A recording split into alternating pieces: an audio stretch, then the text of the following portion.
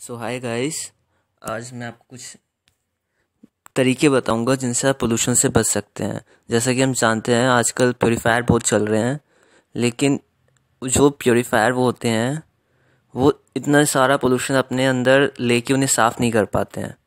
उनके अंदर फ़िल्टर्स लगे होते हैं। वो फ़िल्टर्स क्या करते हैं? वो डस्ट पार्टिकल्स और जितने भी माइक्रो पार्टिकल्स होते हैं नैनो पार्टिकल्स हवा में, उन्हें खींच के अपने, उन्हें फ़िल्टर कर देते हैं। और जो हार्मफुल गैसेस जैसे मीथेन फॉर्मल्डिहाइड कार्बन मोनोक्साइड इस टाइप की गैसेस को वो कुछ केमिकल्स द्वारा एब्जॉर्ब कर लेते हैं।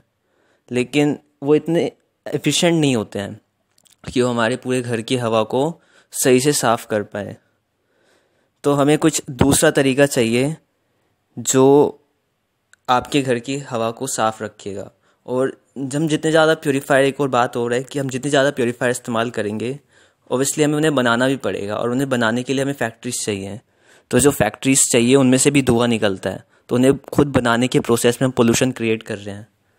तो अगर हम कुछ भी हम सोच रहे हैं कि हम पोल्यूशन को भगा रहे हैं, लेकिन एक्चुअली एक साइकिल है, जिसमें पोल्यूशन क्रिएट हो रहा है बार बार तो हम अच्छा होगा इस साइकिल से बाहर निकल कर हम पेड़ों का इस्तेमाल करें।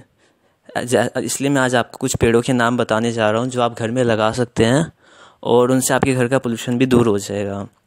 तो इस इस सीरीज़ में सबसे पहला नाम है मनी प्लांट का।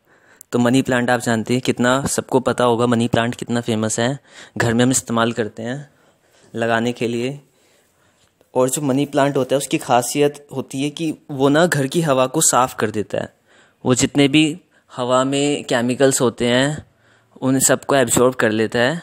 और उन्हें ऑक्सीजन में कन्वर्ट कर देता है। और इसके, इसे काफ़ी कम सनलाइट भी चाहिए होती है तो हम इसे घर में आसानी से लगा सकते हैं और इतना इसे पानी देने की ज़रूरत भी नहीं पड़ती। तो आपसे विनती है कि आप ज़्यादा से ज़्यादा स्नेक वो मनी प्लांट लगाएँ, इससे आपके घर की हवा भी साफ़ होगी। तो दूसरा प्लांट का नाम है स्नेक प्लांट स्नेक प्लांट भी आसानी से इंडिया में मिल जाता है और इसे लगाने से ये भी हार्मफुल केमिकल्स को अपने अंदर खींच लेता है और उन्हें ऑक्सीजन में कन्वर्ट कर देता है।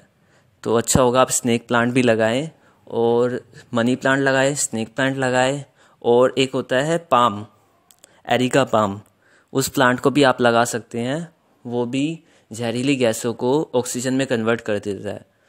तो अच्छा होगा, आप घर में ज़्यादा से ज़्यादा इस टाइप के प्लांट्स लगाएँ, जो आपके घर की हवा को शुद्ध भी रखेंगे और इन्हें इन प्लांट से वैसे कोई पोल्यूशन भी नहीं होगा।